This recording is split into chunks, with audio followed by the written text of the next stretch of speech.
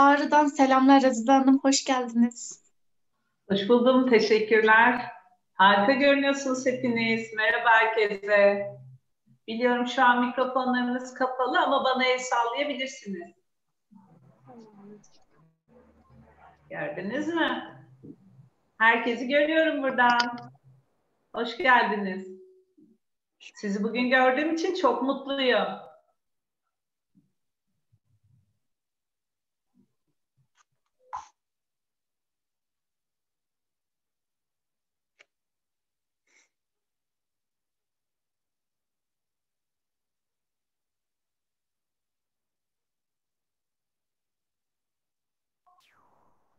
Herkes burada mı bakayım? Hmm. Evet, benim sesim kapalıymış. Çok özür dilerim. Herkesi kapatınca kendim de kapanmışım.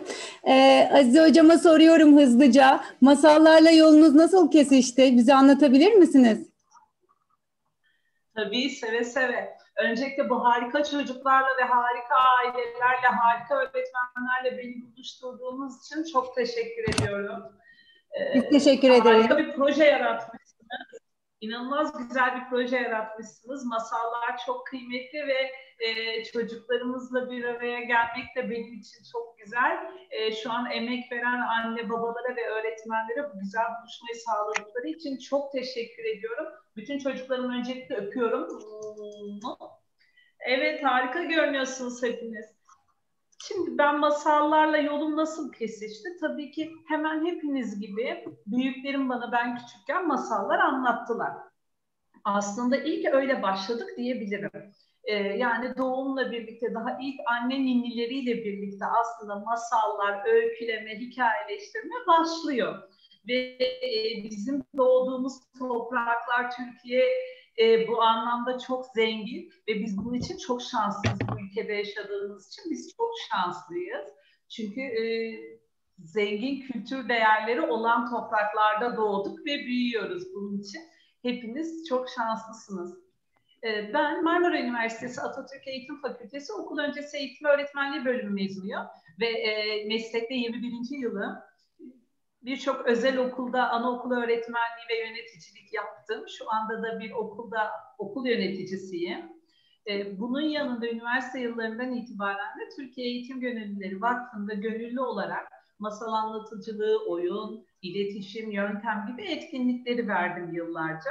Ve büyük ve küçük birçok öğrencim oldu. Onlarla bir araya gelmek çok keyifliydi. Geçen yıllar içerisinde aldığım eğitimlerden biri Orf eğitimiydi. Avusturya Orfe Enstitüsü Bölüm Başkanı Ulrike Rermer'den almıştım eğitimimi.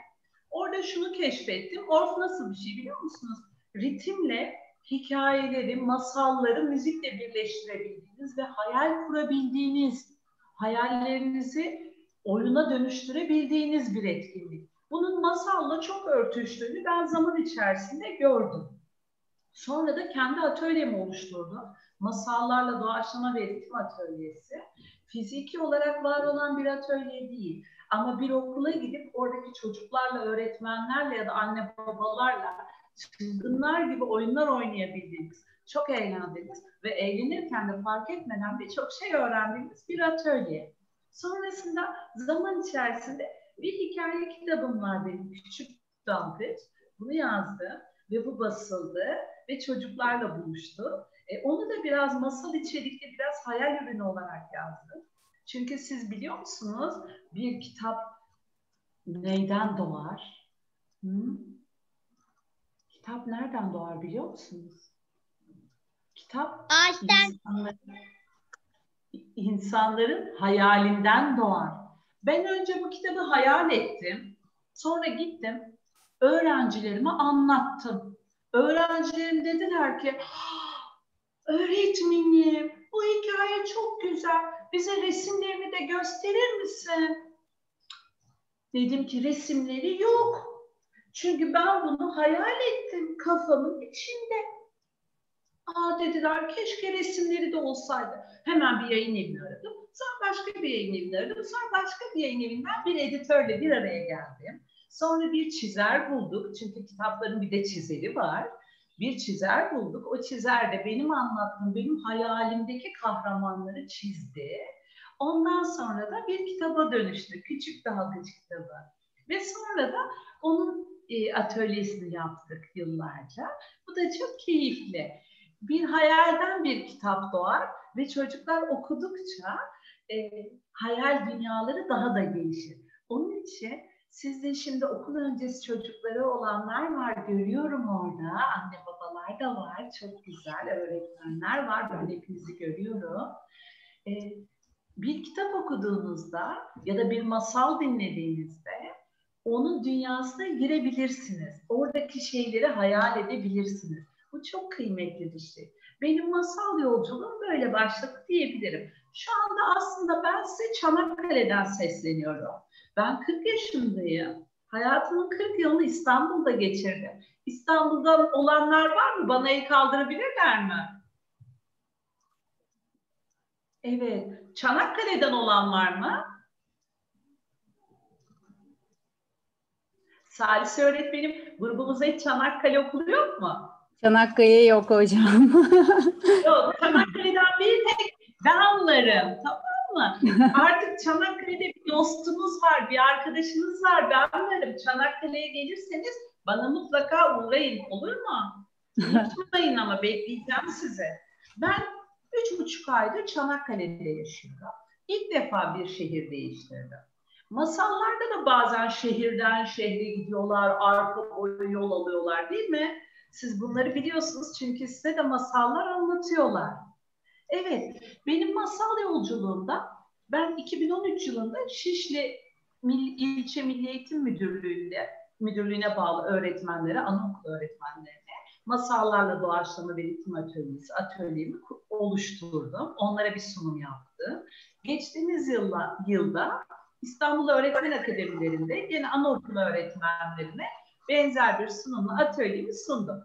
Masal yolculuğum bu şekilde. Aslına bakarsanız 1996'da daha ben bir lise öğrencisiyken çok sevdiğim bir kitap oldu. Ben bu kitabı okudum, çok hoşuma gitti. Fakat o zamanlarda arkadaşlarım diyorlardı ki bu yaşta masal okunur mu? Ama okunur, ben çok seviyordum. O kitap buydu. Bağdat Yollarında diye bir kitap. Aslında yetişkinlerin de okuyabileceği, daha çok da yetişkinlerin okuyabileceği Binbir Gece masallarının içinde olduğu çok kıymetli, biraz kalın, resimsiz bir masal kitabı. Tabii resimli masal kitapları da var ama bugün en sevdiğim masal kitabı olduğu için ben sizinle paylaşmak istedim, yanımda getirdim. Ben çocuklara yazmayı, çocuklara okumayı çok seviyorum. Ve şu an görüyorum anaokulu çağındaki çocukların anne babaları var orada. E, ileride çocuklarınızın okuma sevgisi olsun, okumayı sevsinler istiyorsanız okumayı öğrenmeden önce onlara kitaplar okumalısınız ki çünkü okumayı öğrenme kısmı biraz biliyorsunuz meşakkatli. Sembolleri öğrenecek, harfleri ezberleyecek, ondan sonra bir araya getirdiğinde çıkardığı sesi öğrenecek, ondan sonra okumaya başlayacak. Ama siz okuduğunuzda kitap sevgisini ve okuma sevgisini daha okumayı öğrenmeden kazandırmış olabilirsiniz. Onlar diyecekler ki okumak keyifli bir şey. Okuduğumda eğlenceli şeyler var orada. Hayal hayal kurabiliyorum. Bunu dedikleri zaman okumayı daha çok sevecekler. Çünkü insanlar öykülerle öğreniyor. Mesela e, anılarınızda olan e, şeyleri, anılarınızın e, oluşturduğu hikayeleri, öyküleri hiç unutmazsınız. İlişkiler kurarsınız, hatırlarsınız. Neden masal bu kadar önemli diye düşündüğümde bizi bir araya getirdi. Aç aç. Evet, buyurun Sayıs öğretmenim. Çok güzel anlatıyorsun. Ben hiç kesmeyeyim. Zaten süremiz çok kısıtlı. Sen soruları tamam, sormuşuz gibi tamam. devam edebilirsin. Tamam, tamam. Devam edeyim o zaman. Şimdi arkadaşlar ne var biliyor musunuz? Masalların bir yazarı yoktur. Masallar e, anlatıla anlatıla gelir. Onların bir anlatıcısı vardır. Ve masalı anlattığınızda sadece insanlara özgü olan bir şeye hitap edersiniz. Bir olağanüstü özelliğiniz var. Ne biliyor musunuz? Ben size bir masal anlattığımda siz şu an ekran karşısında olabilirsiniz. Aynı zamanda benim anlattığım çöle gidebilirsiniz hayalinizde. Sonra elma ağaçlarıyla dolu bir bahçeyi anlatırım ben size. Ve siz o bahçede olduğunuzu hayal edebilirsiniz kafanızda. Ah, elma ağacının arkasından küçük bir tavşan çıktı. Ah, zıplıyor. Şaşkın şaşkın etrafına bakıyor. Hayal edebiliyor musunuz o tavşanı? Evet. Tavşan biraz çekinerek bir havuca yaklaştı. Ama çiftçi de gelecek mi diye panik halinde bakıyor. Ah, çiftçi geldi. Bizim tavşan korktu. Biraz geriye çekildi. Çiftçi ona doğru yaklaşıyor. Heyecanlandı tavşan. Çiftçi ona bir havuç uzattı. Taze havucun kokusunu aldı tavşan. Çok mutlu. Çiftçi onun tüylerini seviyor. Tüyleri yumuşacık. Evet. Şimdi o tavşan o havuçtan minik bir ısırık aldı. Kırt. Bir ısırıktan. Hmm. Karnının doymaya başladığını hissetti. Tavşan çok mutlu. Evet. Tavşan uzaklaşıyor ve biz elma ağacının altında oturmaya devam ediyoruz. Bakın şimdi hepimiz ekran önündeyiz ama siz o tavşanı hayal edebildiniz. O havucu görebildiniz değil mi? Ben havuç dediğimde siz havucu yerken tavşanı ya da çiftçi gelirken tavşanın heyecanını, havuç yerkenki mutluluğunu hissedebildiniz değil mi? İşte masallar bunu yapar. Masallar insanların bu olağanüstü yeteneğini ortaya çıkarır. Yani siz bir yerdeyken başka bir yerde olmayı hayal edebilirsiniz. Yaşıyormuş gibi hissedebilirsiniz. Ve masalların yazarı yok dedim. Evet, bir anlatıcısı var. Masal binlerce yıl anlatıla anlatıla bugüne kadar gelmiş olanlar demektir. Direkt aklınıza seslenmez. Masal kalbinize seslenir ve sembollerle anlatır. İnsanın en eski dili de sembol dilidir. Masallar atalarımızın, eski nesillerin bilgeliklerinden gelenleri kulaklarımıza tatlı bir şekilde fısıldar ve bir şeyi bize sembollerle öğretir ve masalı herkes anlar çocuklar.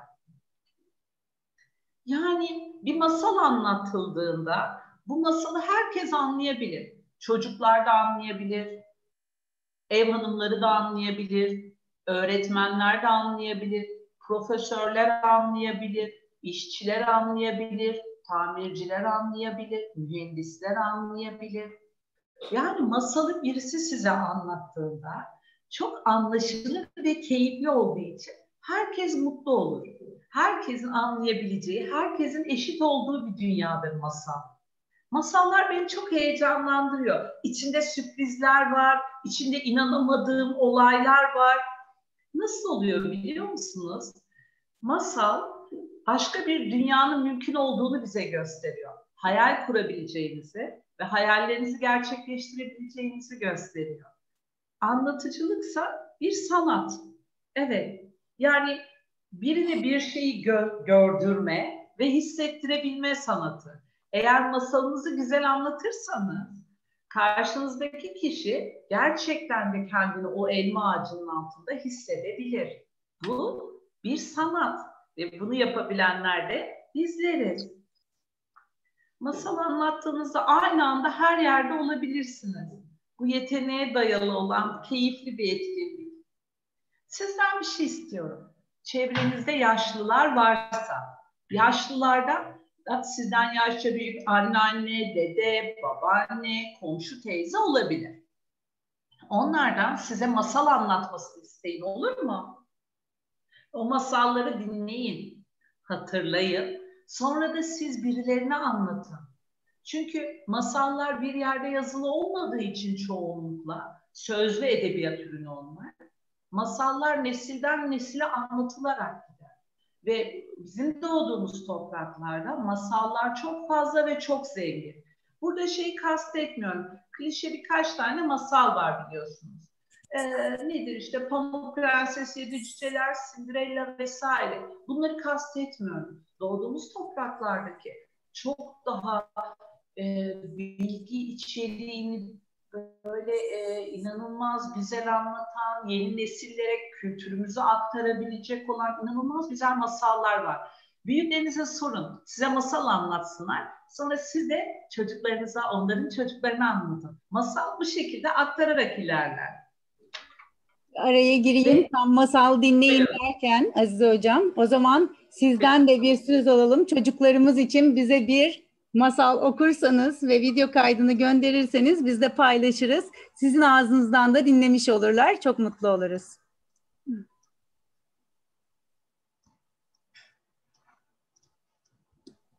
Böyle bir söz verme hareketi yapsın. tamam. Size şöyle bir söz veriyorum. Size bir masal anlatacağım. Siz de söz verin. Bu masalı dinleyeceksiniz ve sonra bu masalı birine anlatacaksınız. Söz mü? Göreyim ses hareketlerini. Göreyim. Bu hareketimiz ses hareketi. Göreyim.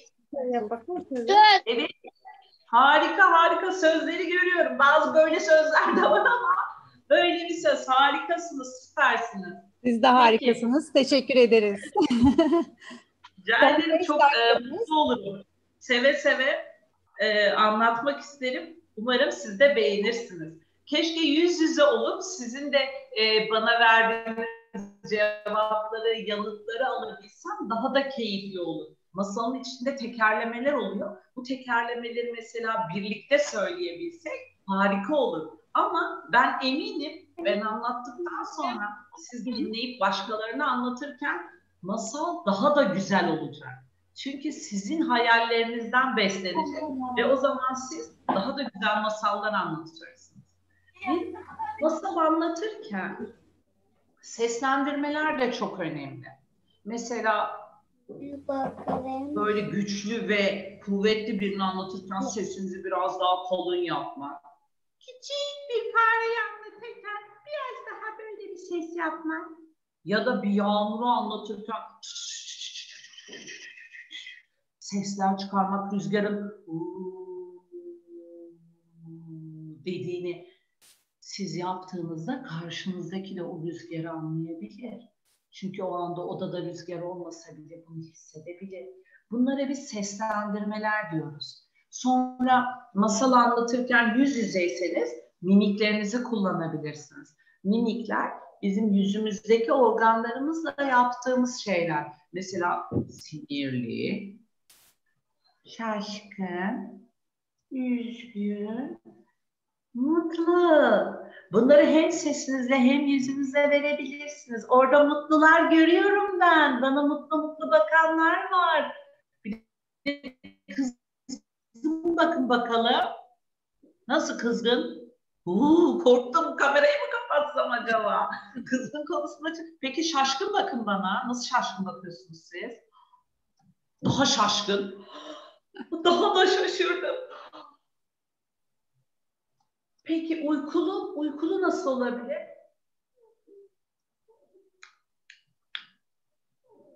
Oo, herkesin uykusu gelmiş. Birden uyanmışsınız. Herkes bir, birden uyansın bakayım. Sağa bakalım. Sola bakalım. Tedirgin miyiz biz şimdi? Biz o tavşan olabilir miyiz?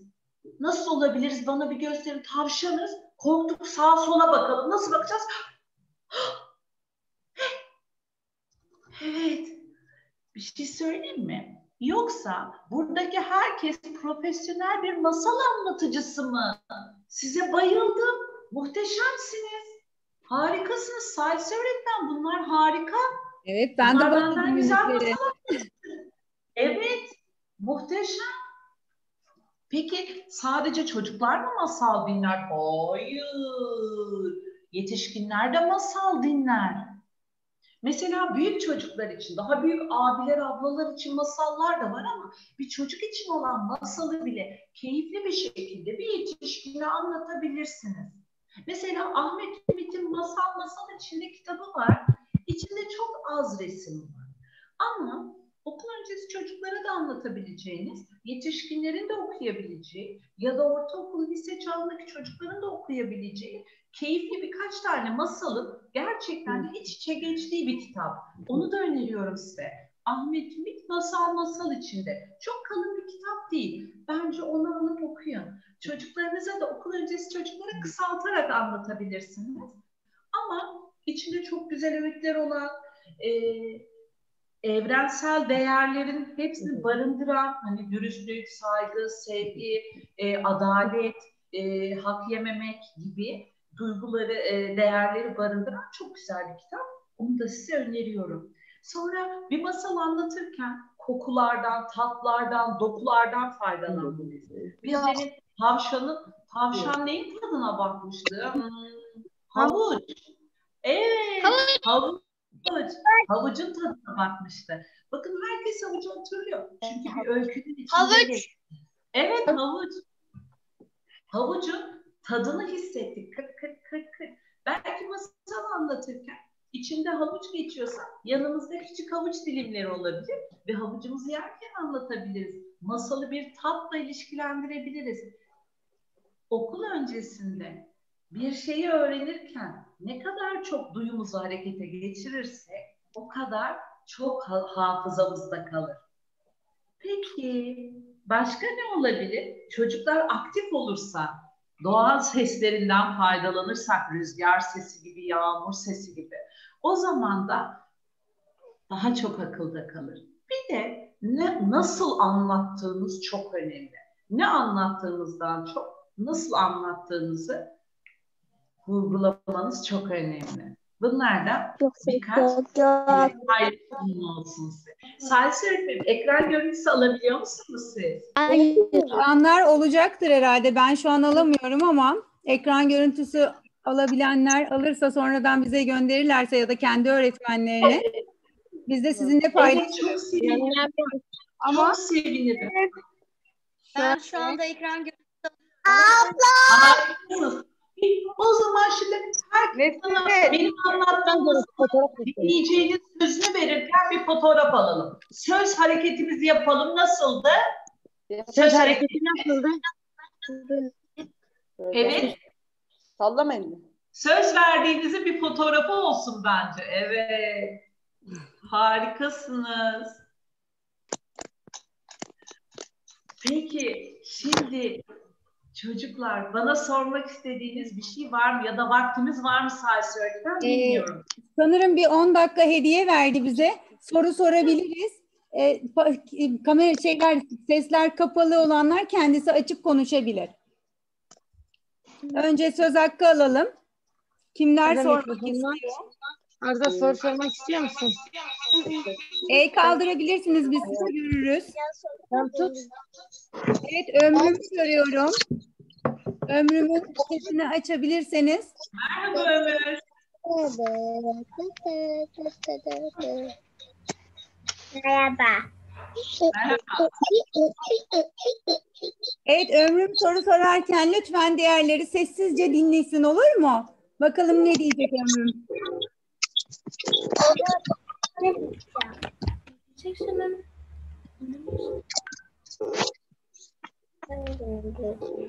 Ömür saçını oynamayın. Ben duyamadım. Ömrüm düşünürken bizim sürem- süremiz az olduğu için Beril sanırım konuşacak. Şimdilik ömrümcüm sen sesini kapat. Beril'e soralım. Sen aklına gelince sorarsın yine. Beril sesini açabilir. Beril Cozoğlu. Bize bir tane kitap gönder.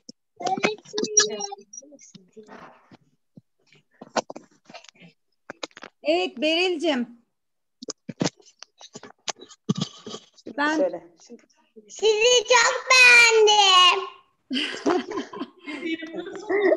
Bilemezsin. Ben de sizi çok beğendim. Ben de sizi çok beğendim. Gerçekten. Harika. Ben biraz heyecanlıydım sizinle konuşacağım için. Sonra sizin gülen yüzlerinizi görünce heyecanım geçti benim.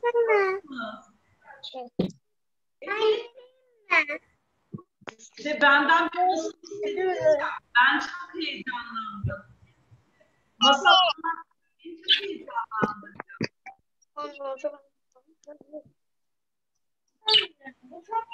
Evet, başka soru sormak isteyen var mı çocuklar? Esma Nur, Esma Nur sorsun. Sesini açabilir misin Esma Nur?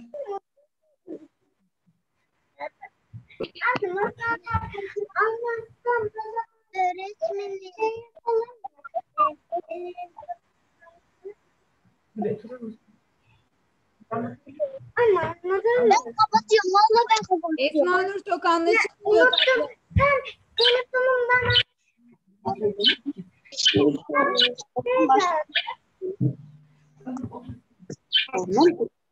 Evet Esma Nur parma elini kaldırdığını görüyoruz.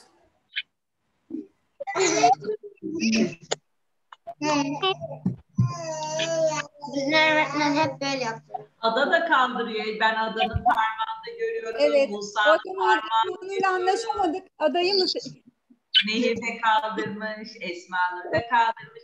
Anladım. Çok sorunuz var ama sanırım burada hep aynı anda konuşamayacağız. İsterseniz ben size Instagram adresimi vereyim. Sorularınızı anneleriniz bana oradan yazabilir.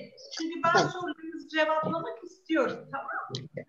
Benim Bunun ötesi Alçızlı Azize öğretmen. Cevaplarınızı oradan yazabilir. Pardon anlayamadık ama sesten dolayı anlayamadık. Okul öncesi alt çizgi Azize öğretmen. Yani hayat bu kadar. Kimsenin hayatında bundan bak bu yok geleceğim. En büyük sebebi böyle Tamam. sosyal medyalarda, dizilerde, onlarda, Evet. bunlarda. Son olarak Beren Grobo işten Herkes alalım. villada. Herkes çok yalıda. Herkes çok güzel kıyafetler giyiyor. Herkesin çok güzel eşyaları var. sesini Sesleri kısarsak hocam daha iyi olacak. Çok bilmem ne kocası sevgilisi. İsterseniz siz tüm sesleri Şimdi ben yine herkesin ikini kapatayım olmazsa. Ee, Berencim seninkini açacağım. Bir dakika hemen açıyorum. Ee, şu mu? Görebiliyor Evet. musunuz ekranda? Beren şu an açık. Evet, evet o. Tamam. Bizim, bizim Nevzat Sanoğlu, evet o. Tamam. Teşekkür ederim. Çocuklar. Ben Beren bir soru soruyor bize ama duyamadık Beren'i. Bağırarak söyle anneciğim. bizim okula gelip bize Masal anlatabilir misiniz? masal anlatabilir misin? çok isterim senin okuluna gelmek. Hepinizin okuluna gelmeyi çok isterim. Nerede senin okulun? Bir kere Ali Kaya. Bir kere yıkan Ali Kaya Hangi şehirde? Çorlu. Çorlu. Çorlu. Aa evet tamam. Çorlu'ya ben daha önce gelmiştim biliyor musun? Evet. Evet Çocuklar. her zaman bekleriz. Evet. Ben şurada Mithat Paşa. Bir dakika. Ne anlatıyorsun? Bizim okula da gelebilir misiniz? Söz vermiyorum, şu hareketi yapmıyorum. Ama gelebildiğim kadarıyla herkesin yanına gelmeye, okuluna gelmeye çalışırım. Bir gün Anlattınız. giderse Çanakkale'ye, siz de bana geleceksiniz tamam mı? Sözünüz olsun. Söz. Ben de sözlerimi, ben de sözlerimi. evet. Tamam olsun. Peki. Ee, şimdi öğretmenim süremiz dolmak üzere. Ee, söyleyeceğim başka bir şey var mıydı bilmiyorum ama çok keyifli bir e, söyleşi oldu bizim için. Katıldığınız için, projemize verdiğin destek için sonsuz teşekkür ederiz. Ee, bizim ve çocuklarımız için inanılmaz, unutulmaz güzel bir anı olacak bu. Çok teşekkürler. Ee, en yakın zamanda hikaye videonuzu da bekliyoruz. Söz. Söz. Ben de çok teşekkür ederim. Bugün siz benden bir şeyler öğrendinizse ben de sizden bir şeyler öğrendim. Bu, e, güzel çocuklarımızın, güzel anne babalarımızın ve öğretmenlerimizin enerjisiyle, heyecanıyla beslendim. Ben de size çok teşekkür ederim. Benim için de çok kıymetli bugün sizinle birlikte olmak. E, ben de kendimi çok değerli hissettim. Çok masal ve oyun aynı temelden geliyor, hayalden geliyor. Dolayısıyla e, ikisi de çok kıymetli çocuk için. E, masallarla ve oyunla e, öğrenmelerini çok önemsiyorum. Bunu tavsiye ederek çok öpüyorum. Bir de herkesten öpücük istiyorum. Görüşmek üzere. Hoşçakalın. Hoşçakalın. Öğretmenim